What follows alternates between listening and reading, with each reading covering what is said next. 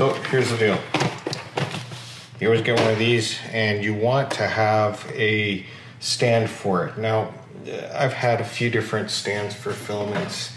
This is what came with my my machine and the problem I had was is these flange bearings weren't big enough so I ended up adding an extra and sometimes it works sometimes it doesn't you have to deal with the width the other day though I was sitting there and I looked at something and I realized all I really need to have a filament holder is a tube.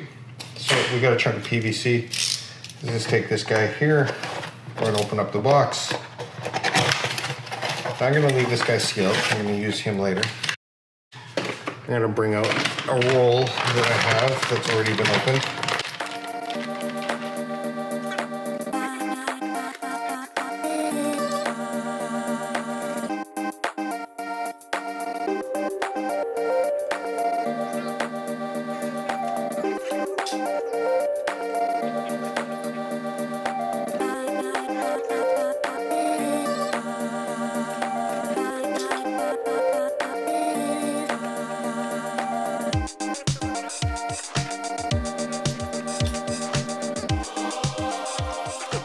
We got two circles there.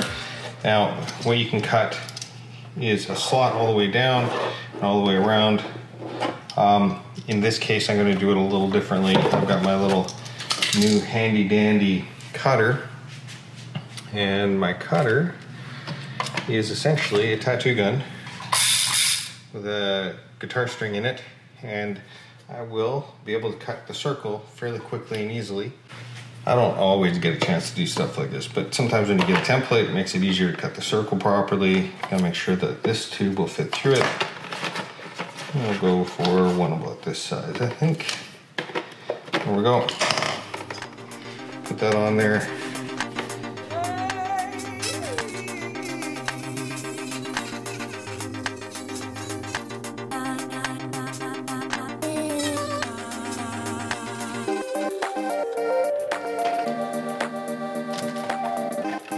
Two nice neat holes cut in there. This guy fits through nice and tight. Now, you drop your filament spools through, grab this, and you've got a filament holder that allows it to spin, and it has cost you nothing. And it actually looks pretty neat. And also, when you want to use other filaments, you just pull this out and put on something else.